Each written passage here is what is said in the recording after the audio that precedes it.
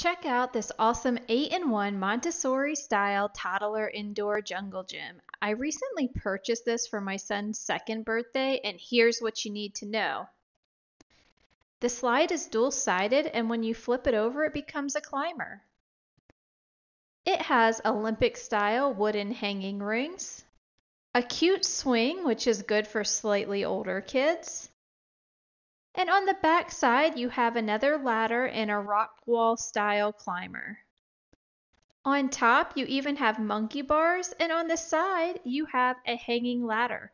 What more could you want?